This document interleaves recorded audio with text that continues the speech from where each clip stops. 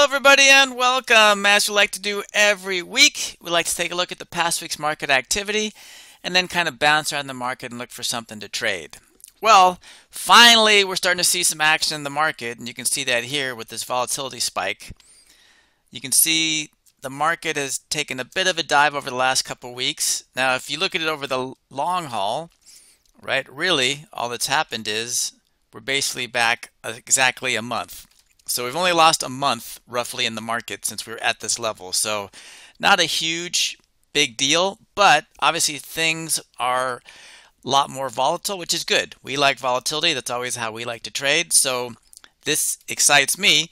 Volatility is coming back in the market. Hopefully we'll get a bit more and it's not just a one-time thing and things kind of just continue on. Now normally I would say like, okay, let's go in and trade the SPY because it's shot up to 49 and we can do that.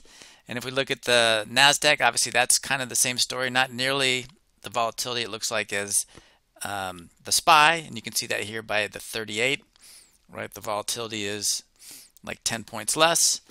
And of course the Russell, which is also volatility has spiked quite a bit. You can see that's way up at 69. In general, the IWM or the Russell is always a lot more volatile than the other two indices. But again, if you look here, really everything's come back to about a month. We've lost about a month what I want to do this week is, even though these are volatile and we could absolutely trade these, we've traded these a lot and we'll come back to them. Hopefully the next week gets more volatile and we pop back in. But I want to do something a little bit more fun and show you a couple different things we can do. So this is silver. And you can see silver, as we talked about with gold, when commodities go up, generally volatility goes up. And on this last Friday, it took a big dump and look, volatility took a big dump, which is opposite to what stocks would look like. In this case, you'd see it turn the other way around with volatility, as you've just seen in the indexes.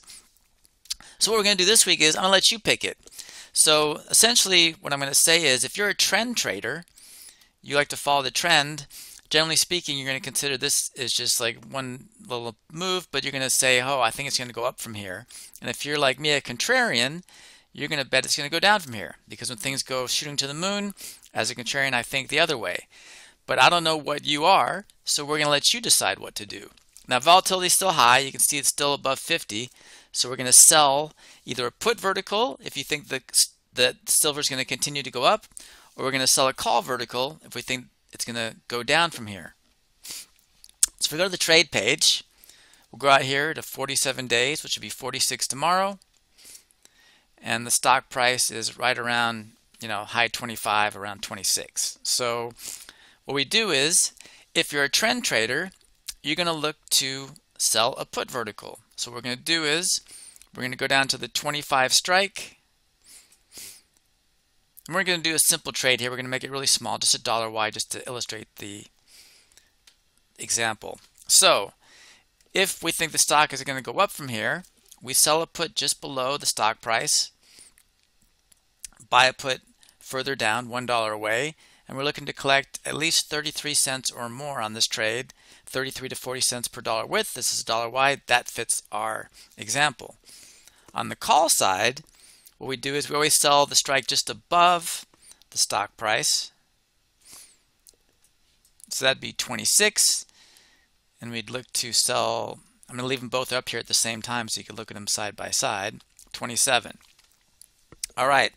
So this one, we're not collecting enough as right now. The market's obviously closed and things are going to change on, on Monday. But here's what we're going to do. Again, this is the call vertical. This is if you're a contrarian like myself and you think the stock or the silver will go down from here. When the market opens tomorrow, wherever this number is, we're going to go one strike below if we believe it's a if we're a trend trader and create a $1 wide vertical and look to collect 33 to 40 cents for that dollar. If we're a contrarian, we're going to go one strike above and create that $1 wide vertical again and look to collect 33 to 40 cents per dollar width. If we can't, we don't make the trade. I know this is close. 31 is almost 33, but discipline is the key to successful trading. So if we're not collecting at least 33 cents to 40 cents per dollar width, we're not making this trade. But that is our trade. That's the pick'em for tomorrow in silver. And like I said, puts for trend traders, calls for contrarians. Have fun. Hopefully one of us will be right. Take care and happy trading. One, I am excited to let you know I've completed a book that is now available to everyone that wants to get it called Learn to Trade in 7 Days. This is a book that'll take you from absolute ground zero as far as knowing absolutely nothing about options all the way to trading them. Now, I'm so intent on getting this book to you because I really believe it is such a valuable resource for anybody and everybody that I'm going to offer an incredible deal on this, so stick with me on this. But before we get there, I want to show you what the book entails. The book is broken down into seven days.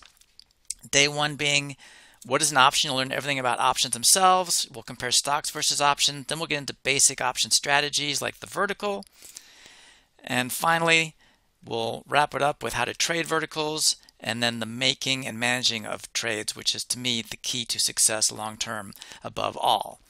Now, as I mentioned, if you get into it now, if you go to this link, you can get this book for only $9.99. And I know that may not appeal to a lot of people because a lot of people aren't into books, but I'm so intent on getting you this book because I really believe it is such a valuable resource to anybody and everybody that I'll also throw in any one of my courses right here available on Udemy right now. So for only $9.99, you not only get the book itself, but you get one free course which can be valued for as much as $100 depending on when and where you buy these courses. Again, just go to this link here and it'll take you to this page where as you can see you'll get the book and one of my courses for only $9.99 so really can't be beat so again just to reiterate go to this link here you will get my book, which you can hang on to forever. And I really believe is such a vital resource. I'm throwing in a course to really get you motivated to buy this book. That's how important I really believe this book is. The book and one of my courses for only $9.99 simply by going to this link. Please jump on this opportunity. It is something you really will be happy you did.